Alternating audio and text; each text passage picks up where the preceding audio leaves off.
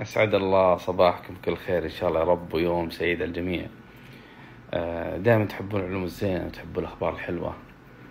بس دائما أخبركم يعني شوية فيها يعني تفككون بعض الشفرات بس ما فكيت هالشفرة غريبة. يعني زي هالصورة والبوستر إلى الآن ما فكيت شفرتها. البوستر نازل له وقت طويل وإلى الآن ما حد فك الشفرة حقته. فكروا معي زين. أول شفرات هذا ال poster لغة كتابة هذا ال poster. ما كتبت لا باللغة العربية ولا الإنجليزية. كتبت باللغة اليونانية والتي يرمز إلى المسرح اليوناني لأول مسرح على مستوى العالم. هذه أول شفرة وفكيناها يلا فكروا يعطيكم مساحة كذا شوية. تشوفون يلا ارجعوا ال poster حطيت لكم الرابط. ارجعوا له شوفوا فكوا معي شيء شفرات منا منا يلا يلا يلا. الحاجة الثانية بعطيك إياها في البوستر. في أقنعة في البوستر.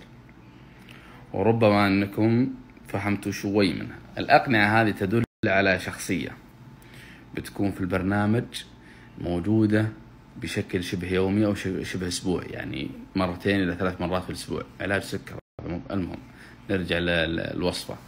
المهم بتكون هالفقرة فكرتها جدا مختلفة.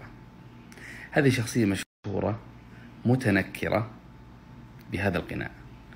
وش فكرة القناع؟ هذه الشخصية المتنكرة في آه، الأقنعة أو القناع هذا اللي موجود عليها تتحدى المتسابقين والجمهور. من بداية البرنامج إلى آخر البرنامج في كشف شخصية هذا المشهور من يختبئ خلف هذا القناع. تمام؟ تمام. أيضا من دخول هذا آه، الشخص المقنع يكون يحمل شنطة. الشنطة هذه فيها عدة أفكار فيها عدة نصوص. يدخل والاختيار يكون كاختيار الفريسة يعني كأنه يختار فريسة. يخش كذا يصيد لمتسابق ويشيله من عنده يحطه في المكان المخصص يلا يا متسابق يفتح له الشنطة عندك عدة نصوص. النص الأول مثلا درامي النص الثاني كوميدي النص الثالث آه، أكشن. اختر أي نص وبعد ما يختار يعطيه القصة ويعطيه الميك أب ويخش في القصة. ويعطينا أداء. طبعا من التحدي أيضا كذلك ذكرت إنه الشخصية هذه المشهورة يتحدى الجمهور والمتسابقين في كشف وجهه طبعا هو بيكشف وجهه في الحفل الختامي. هو حيكشف وجهه في الحفل الختامي. بس التحدي خلال التسعين يوم أو المية يوم من هذا الشخص؟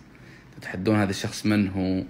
آه، الطريقة الإيحاءات الجسم الوجه الحركات هذا مين هذا فلان هذا فلان. ربما فجأة تلقون سامي الجوني فجابوا صالح. ما ما تدري ما الله أعلم. محمد عيسى ما الله أعلم الله أعلم الله أعلم. فكروا أنتم فكروا شوف